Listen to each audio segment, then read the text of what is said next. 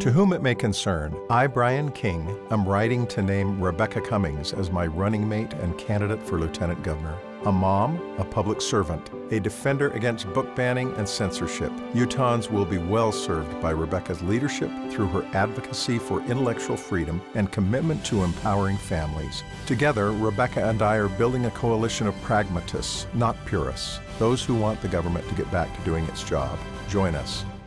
For the better.